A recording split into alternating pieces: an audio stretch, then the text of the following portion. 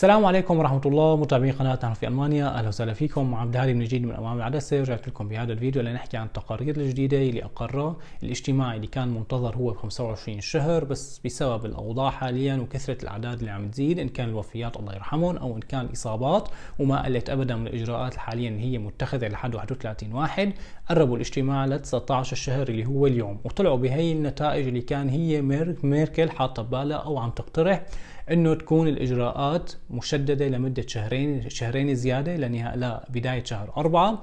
بس هن شافوا إنه لا هذا شيء غير غير منطقي وكان في كثير انتقادات لهذا الإجراء إنه شيء غير منطقي إنك انت تجددي شهرين وتشيلي الحياة بشكل كامل. لازم نحن نعطي فرصة جديدة وقرروا هن إنه يمددوا الإجراءات حاليا. ابتداء من 31 واحد ل 14 2 وأيضا حتضل المدارس والروضات مسكرة آه، مثل هلأ الوضع اللي نحن فيه.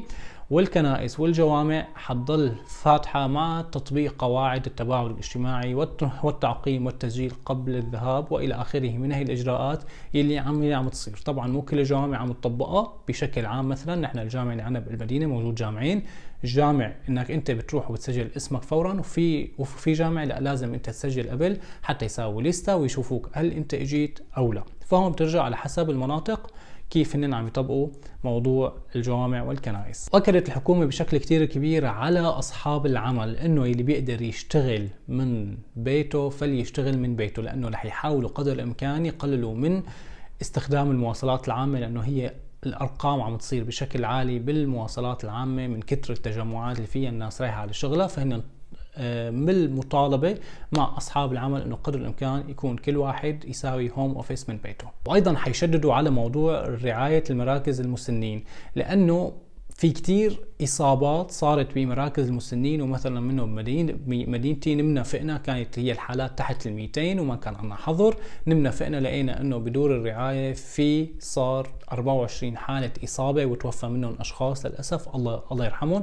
فلذلك حيشددوا كثير الاجراءات عليهم وأيضا رح يلزموا بلبس بلبس هذا النوع من الكمامات. حيصير هو الأساسي الاف اف تي بي أظن تصفاي أو اف تي بي تصفاي هيك هيك شيء اسمها رح تصير إلزامية بهي المناطق ورح يشددوا فيها أيضا ببقية المدن بشكل كامل إنه تنلبس وإن كان أكثر شيء بمراكز التسوق. مراكز التسوق طبعا بقصد إنه ال Lidl ال Aldi وكذا لأنه كل كل الأسواق بشكل عام حتضل حتضل مسكرة وما حتفتح. ابدا.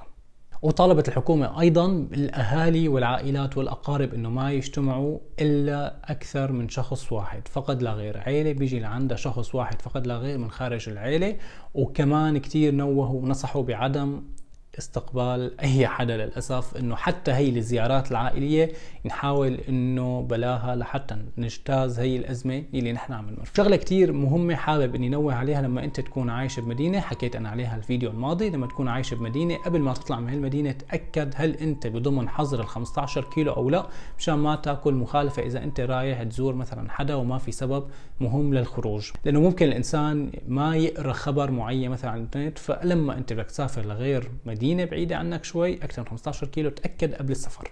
وهيك بالحالة بكون أنا وصلت لنهاية الفيديو. إن شاء الله تضلوا بكل صحة وعافية ديروا بالكم على بعض وحبوا بعض ولا تزعلوا بعض. بشوفكم على كل خير الفيديوهات القادمة وإن شاء الله بكرة في فيديو مميز على القناة وكثير ممتاز. بشوفكم على القناة بكرة إن شاء الله. والسلام عليكم.